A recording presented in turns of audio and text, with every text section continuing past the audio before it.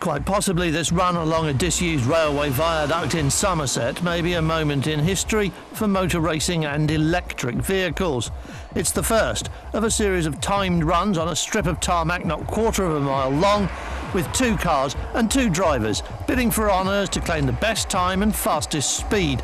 So it could reasonably claim to be the first race between electric vehicles ever staged. It's all part of the START initiative, a project of the Prince's Charities Foundation. START is all about sustainability and electric vehicles come under its wide-ranging umbrella and will take part in the year's big event when the Mall outside Buckingham Palace is closed in September. What we tried to do today on the viaduct is bring together the Tesla, which is without question the only supercar electric car on the market that is tried, tested and proven.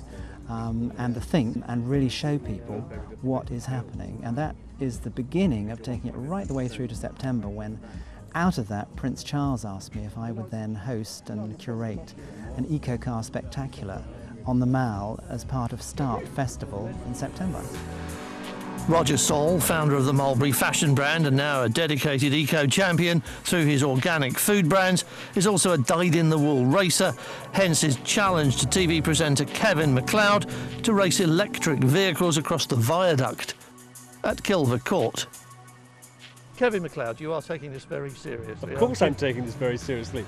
I mean, it's a bit of a hobby of mine anyway, and um, and I'm racing against a man who takes it more than seriously. I mean, you know, Roger will do anything to win. The cars couldn't be more different. Think is the fully rounded city electric we've seen at motor shows for a decade or so, developed in Norway, perfected under Ford's stewardship, and one of the few genuinely practical electric vehicles available. The Tesla Roadster is something else. It's based on a Lotus chassis and packed with high-end electric motors and electronics to deliver completely usable sports car performance with a real-world range of 100 miles to make it practical in every everyday sense of the word. But it's emissions and guilt-free performance and it's here today because it is completely sustainable as well as practical Think also has sustainability as its guiding principle, but in road trim it's no match for the Tesla and probably isn't as a race car either.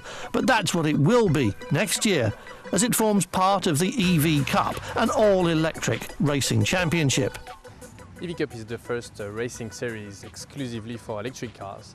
In our own series, we've broken it down by three uh, classifications. The first one being city EVs, next one being sports EVs, and of course prototype EVs we are still very much a niche within the motorsport. We're not trying to replace Formula One or whatever like that. We, we just are creating a niche with a new technology.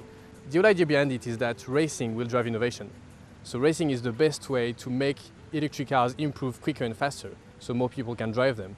I would say in terms of the technology, uh, it's very simplistic compared to an average uh, running petrol or diesel car. But really the complexity comes in the chemistry of the batteries, uh, the form of electric motor used, and of course a battery management system which of course uh, controls the level of power usage throughout the racing. EV Cup's message is quite clear, that the future of motorsport is like that of motoring, electric, and that racing will improve the breed as always. The championship is due to begin next year, bringing noise and emissions-free racing to circuits that badly need just that, and providing a new generation of race fans with a fast-developing technology that will relate directly to the cars they drive in the time-honoured traditions of car racing.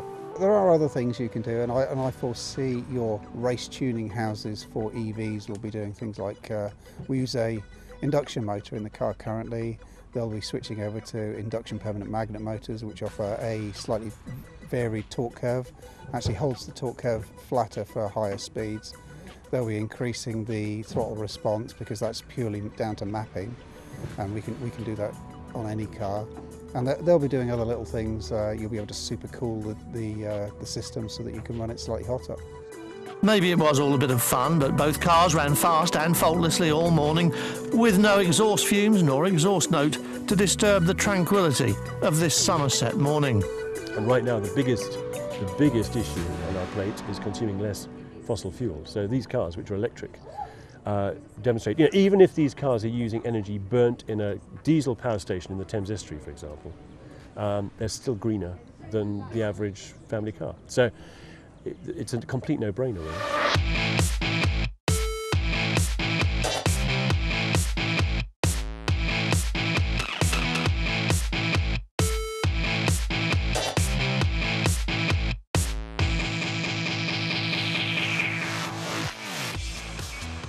All of this is on the way, irreversibly, unstoppably on the way. Even as we speak, the technology for the cars we drive five years from now is under development and it will be better than anything you have seen so far. And racing will help to move it on year on year.